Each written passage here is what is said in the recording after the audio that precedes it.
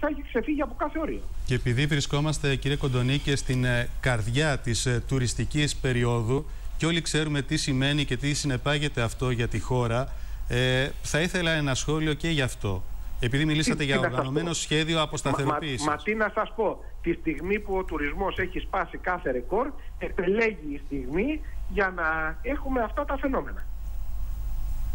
Δεν νομίζω ότι χρειάζεται σχόλιο. Κάποιοι δυσαρεστούνται με αυτή την, ότι πάει καλά ένας τομέας της οικονομίας.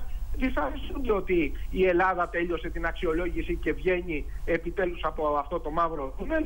Δυσαρεστούνται με τις επιτυχίες τις οποίες ε, έχουμε καταγράψει και πρέπει να δημιουργήσουμε αυτή την κατάσταση.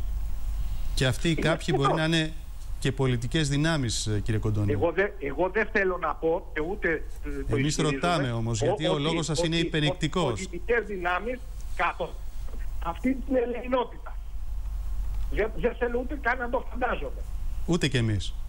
Όχι, δεν θέλω ούτε καν να το φαντάζομαι.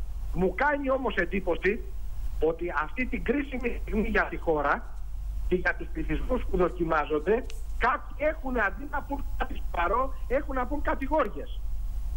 Και να λένε για σενάρια, όταν η πραγματικότητα βοά. Μάλιστα. Μάλιστα. Κύριε Υπουργέ, ευχαριστούμε πολύ. Καλή δύναμη και καλή τύχη στη Ζάκυνθο. Να είστε καλά, ευχαριστώ.